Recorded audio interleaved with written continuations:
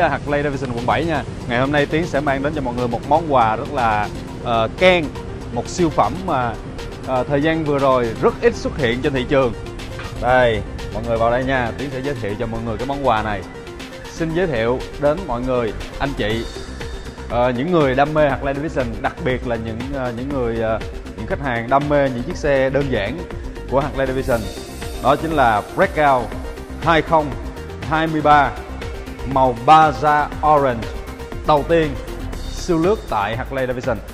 Đây là chiếc xe à, Harley Davidson Breakout 117 2023 um, phiên bản đã thay đổi rất nhiều so với lại phiên bản trước.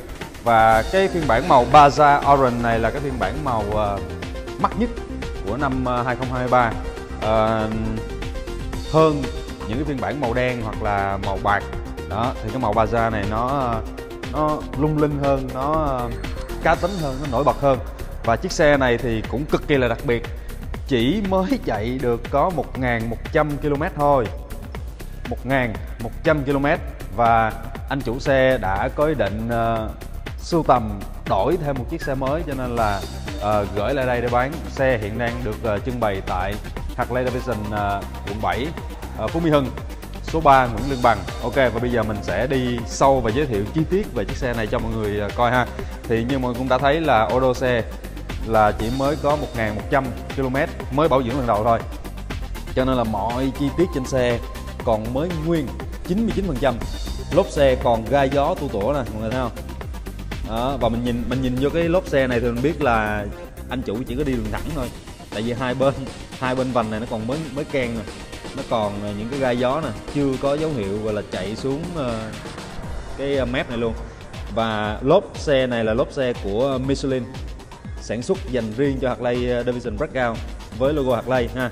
Và cái mâm cái mâm uh, của đời mới này á nó đã được uh, Harley Davidson thiết kế lại uh, kỳ công hơn nghệ thuật hơn và thẩm mỹ hơn so với lại ờ, đời cũ. Tất nhiên là vẻ đẹp thì mỗi người sẽ cảm nhận mỗi khác nhưng mà cái mâm này uh, được thiết kế theo phong cách mâm tua bin cho nên là mình nhìn cái hiệu ứng khi mà bánh xe lăn bánh nó sẽ rất là đẹp. Mâm 21 mâm 21 kích thước lốp trước là 130 mm uh, vành mâm là 21 ha. Đó là cái ờ, bánh xe. Uh, phần phục xe thì vẫn là phục ống lồng. Uh, nguyên bản truyền thống của một chiếc uh, Harley Davidson uh, phần về xe thì là về ngắn ôm sát theo cái ờ, form của bánh xe. Và cái điểm uh, gọi là signature cái điểm mà uh, làm nên tên tuổi của Harley Davidson Breakout đó chính là cái phần đèn lái giọt nước. Đó mình có thể gọi là đèn hạt đậu hoặc là đèn giọt nước tùy ý mình.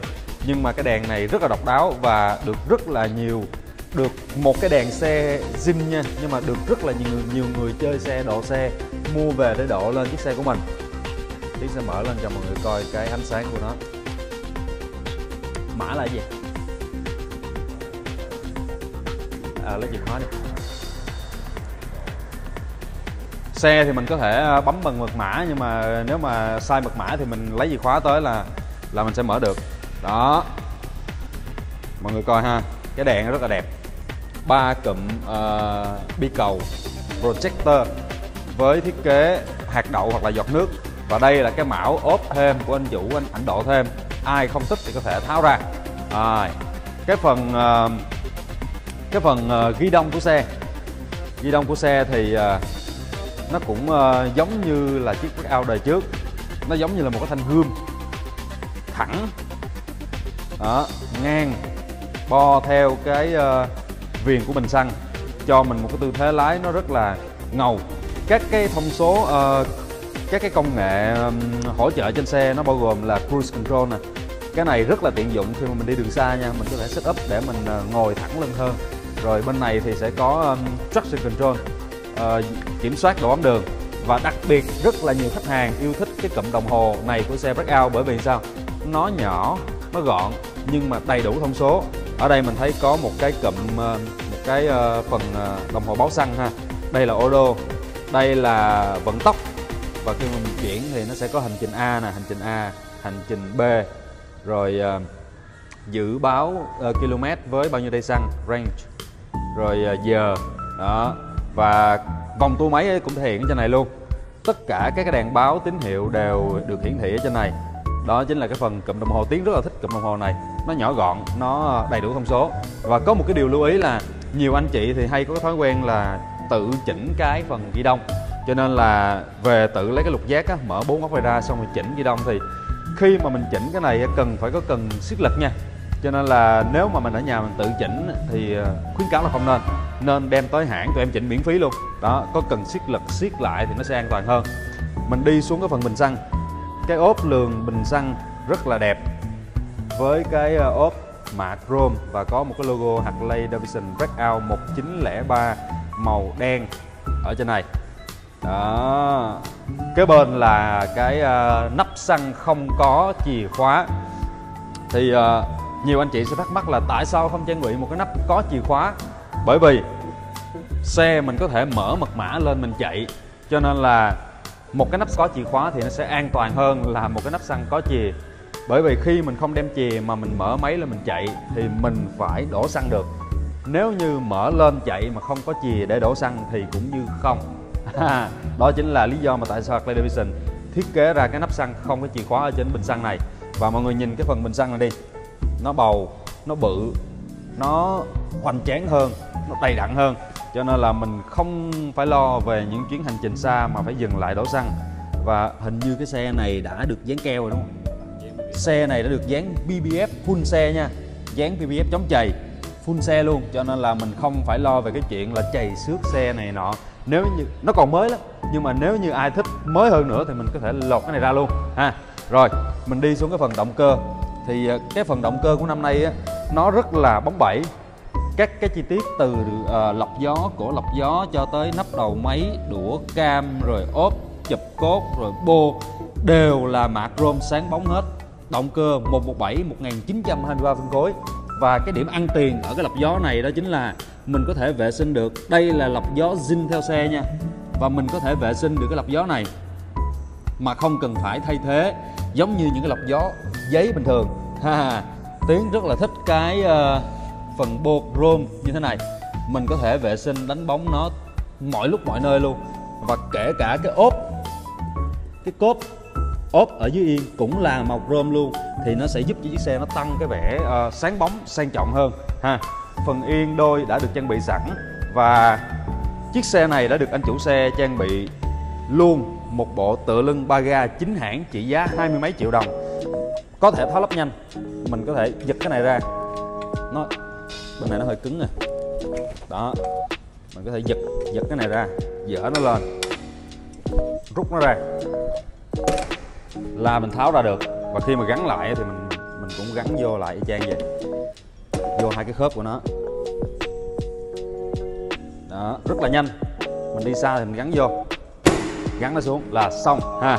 Ok, mình đi ra cái phần sau đuôi của xe. Thì cái điểm thứ hai mà làm nên tên tuổi của một chiếc xe breakout hoặc Land Division đó chính là phần bánh béo. Bánh xe 240mm 240mm bánh béo về cong về lớn. Đèn xi nhan đã được uh, trang bị sẵn đèn led viền. Và nếu như anh chị nào mà yêu thích cái sự uh, đẹp đẽ cá tính nghệ thuật hơn mình có thể tháo cái bắp biển số này ra mình đưa qua bên hông thì mình sẽ khoe được nguyên cái phần uh, bánh béo 2.4 ha. Một cái điểm thứ ba mà tiến rất là thích và nó cũng là một cái cái sự đặc trưng trên một chiếc xe Harley Davidson đó chính là cái phần uh, dây đai ừ, Cura truyền động cực kỳ bền nha anh chị. 40 50 ngàn cây mới cần phải thay và không lo về cái chuyện gọi là dơ hay là cần vệ sinh tăng chỉnh gì hết. Nhất là trong cái mùa mưa này ai mà đi xe Yakura là không phải lo gì về cái chuyện kêu hay là uh, hao mòn hay là dơ hay là cần vệ sinh gì hết. Tất cả mọi thứ đều rất là yên tâm để sử dụng. Uh, đó chính là các cái chi tiết xung quanh một chiếc xe breakout chạy lướt của Harley Davidson. Uh, đời 2023 và hình như là chiếc xe breakout đầu tiên được đưa vào để ờ, bán cũ lại luôn, bán nước lại luôn. Và đây là cái phần mà mọi người mong chờ nhất, đúng không? Đó chính là giá xe. Thì trước khi mà nói cái giá xe của chiếc ờ, breakout cam này thì tiến xin thông báo giá xe của 2024 đây là chiếc breakout 2024 màu Bluebird với mức giá đang được bán là 969 triệu đồng. Chưa ra biển, chưa có đồ chơi. Đó và đây là chiếc Fatboy ờ, uh, 2023 cũng đang được bán với mức giá là 909 triệu đồng. Chưa ra biển chưa có đồ chơi. Và đây là giá của chiếc Breakout Baza Orange 2023 chạy 1.100 cây. Đó chính là 879 triệu đồng. 879 triệu đồng là anh chị đã có thể sở hữu một chiếc xe Breakout như mới có thể gọi là 99% đang được trưng bày tại Harley Davidson uh, quận 7 Phú Mỹ Hưng số 3 Nguyễn Lương Bằng.